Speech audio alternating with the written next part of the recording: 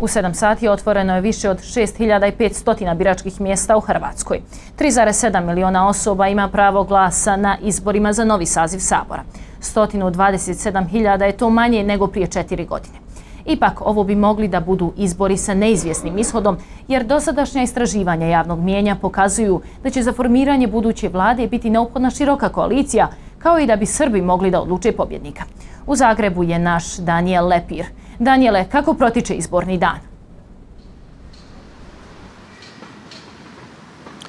Mi se nalazimo u ovim trenucima u zagrebačkom naselju Ciglenica. Iza mene e, imate priliku da vidite e, biračko mjesto broj 51 gdje je jutro su 7 časova počelo e, glasanje za poslanike u Hrvatskom saboru. Trajaće do 19 časova kako na ovom biračkom mjestu, tako i na više od 6.500 biračkih mjesta širom Hrvatske.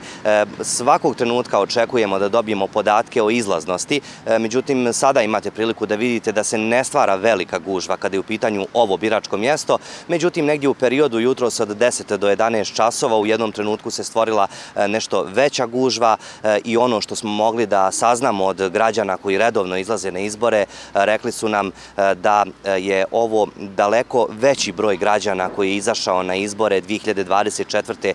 nego prije četiri godine 2020. kada je bila rekordna ukupna izlaznost izlaznost, e, rekordno niska ukupna izlaznost, e, negdje oko 46 od 100. Građani s kojima smo razgovarali e, kažu da kogod bude pobjednik žele da Hrvatsku unaprijedi u političkom i ekonomskom smislu.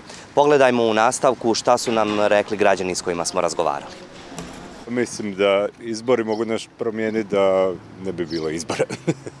Pa kogod da bude, očekujem da bude dobar s ljudima, da bude se po e, e, naš status e, poboljšal, da budemo veće plaće, da bomo ljepše živjeli, kogod on to bio. Ja mislim da treba Hrvatsku još unaprediti, da nismo još na pravim mjestima, nismo se stabilizirali.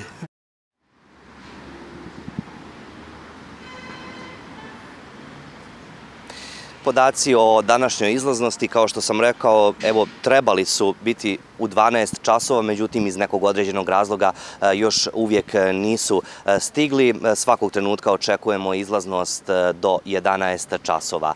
Tokom dana, negdje do 12 časova, prijavljeno i nekoliko izbornih nepravilnosti državnoj izbornoj komisiji. Iz državne izborne komisije saopšteno je da zapravo u tim određenim prijavama i po tim određenim prijavama su i postupili u skladu sa svojim svojim procedurama.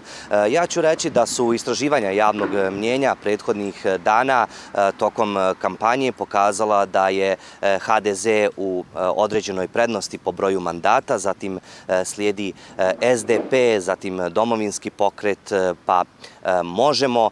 U svakom slučaju svi ti rezultati pokazuju da ni jedna stranka u ovom trenutku neće moći, ukoliko se naravno ti rezultati obistine tokom današnjeg dana, neće moći formirati koaliciju, bit će potrebna široka koalicija.